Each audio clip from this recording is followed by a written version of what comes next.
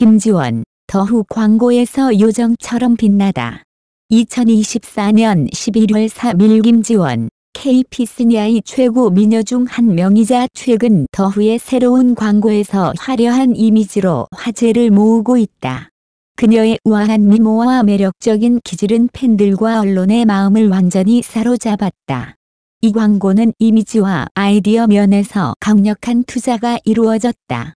김지원은 화려한 전통 한복을 입고 밝은 색상으로 한국의 민속 문화를 강조하며 긴 머리를 늘어뜨리고 신선한 꽃으로 포인트를 주었다.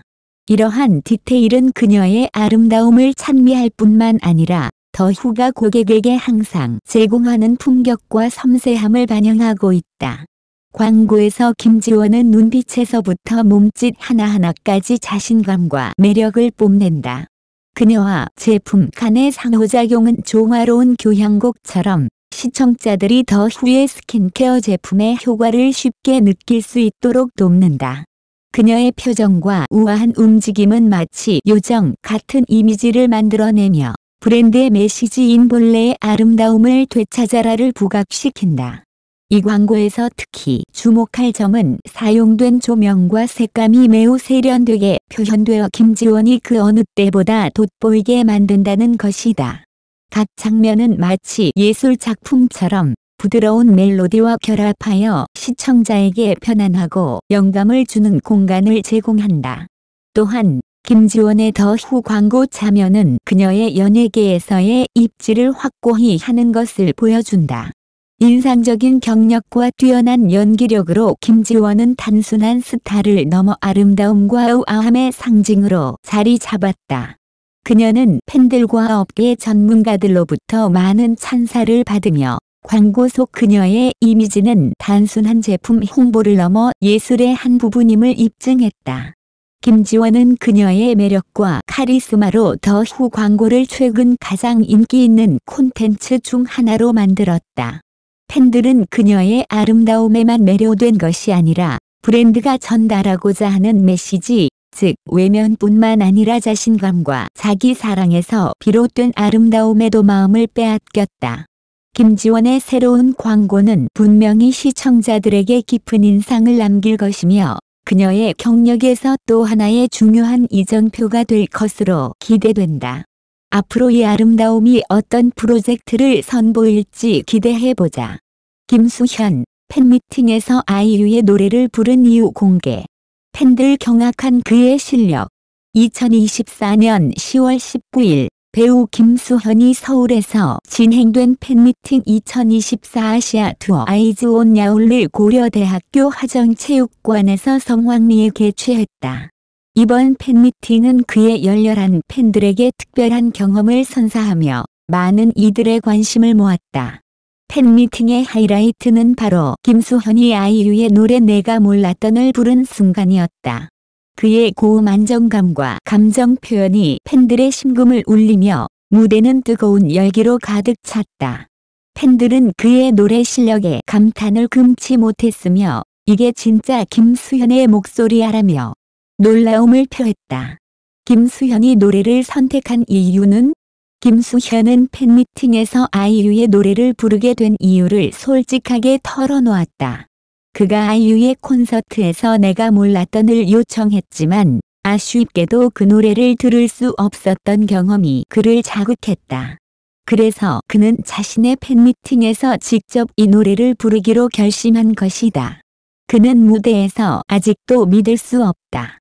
내가 아이유의 콘서트에서 이 노래를 앵콜 요청했는데 결국 내가 내 팬미팅에서 부르게 됐다고 말했다. 그러면서 그는 아이유가 이 노래를 부르지 않아서 내가 부른 거야 라는 유머러스한 발언을 덧붙였다.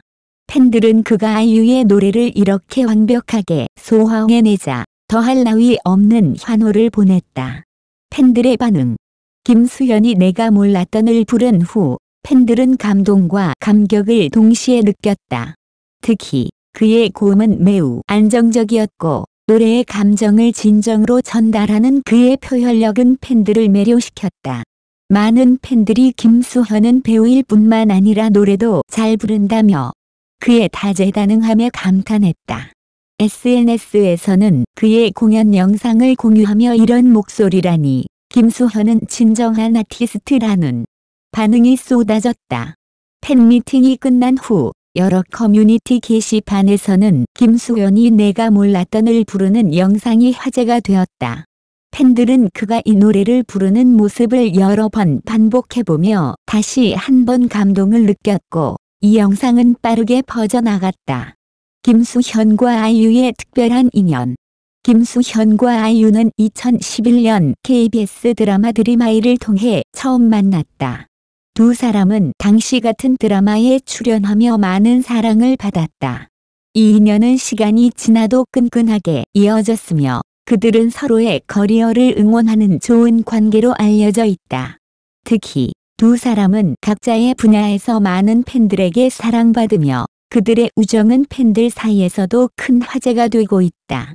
결론 김수연의 팬미팅에서의 노래는 단순한 공연이 아닌 그가 팬들과의 소통을 위해 얼마나 노력하는지를 보여주는 중요한 순간이었다. 그의 선택과 노래는 팬들에게 잊지 못할 추억으로 남았고 아이유에 대한 사랑 또한 깊어졌다. 팬들은 앞으로도 김수현의 다양한 활동을 기대하며 그의 다음 모습을 기다리고 있다. 김수현이 앞으로 어떤 새로운 모습으로 팬들을 놀라게 할지 기대가 크다. 이처럼 김수현은 그의 팬미팅을 통해 단순한 배우를 넘어서서 아티스트로서의 면모를 뽐내며 팬들과의 특별한 유대감을 더욱 강화시켰다. 그의 열정과 재능은 앞으로도 많은 사람들에게 감동을 줄 것이다. FT 아일랜드의 용기가 민환의 성매매 논란에 대한 생각을 전하며 너무 불공평해. 최근 그랜드 민트 페스티벌에서 FT 아일랜드의 용기가 드러머 민환과 관련된 최근 논란에 대한 자신의 감정을 팬들과 공유했다. 앞서 보도된 바와 같이 민환은 성매매 혐의로 경찰 조사를 받고 있으며 이로 인해 모든 미디어 활동을 중단한 상태다. 현재 그룹은 홍기와 재진 두 멤버만으로 활동하고 있다. 홍기는 이전에 민환을 지지하는 발언을 하며 팬들에게 논란에 대한 추가 정보가 나올 때까지 신중하게 기다려줄 것을 권장한 바 있다. 그는 모든 것을 너무 쉽게 믿어서는 안 된다. 고 말했다. 이제 홍기는 상황에 대한 자신의 생각을 조금 더 언급했다. 최근 음악축제 공연이 끝난 후 홍기는 간접적으로 논란에 대해 언급하며 정말 너무 불공평해. 세상이 나를 향해 적대적인 것 같아. 하지만 나는 죽을 때까지 음악을 만들겠다. 고 밝혔다. 이에 대해 축제 관객들은 휴대폰 플래시를 켜고 홍기와 재진을 응원했다. 홍기의 짧은 발언은 그의 계속된 민환 지지와 음악 축제에서의 욕설로 인해 네티즌들로부터 또 다른 비판을 받았다. 한 네티즌은 이제 팬들 앞에서 욕도 하는 건가라고 말했고 또 다른 사람은 그룹의 리더로서 팬들 앞에서 이런 발언을 하면 안 된다. 고 지적했다. 누가 그가 음악을 만들지 못하게 막고 있나? 정상적인 사람이라면 이런 식으로 무대에서 욕을 하지 않을 것 같다. 상황을 모르는 사람이 보면 홍기가 팀의 실패를 조례한 것처럼 보일 것이다. 마치 그가 피해자인 것처럼 행동하고 있다. 그가 아무것도 말하지 않았다면 사람들은 여전히 그를 응원했을 것이다.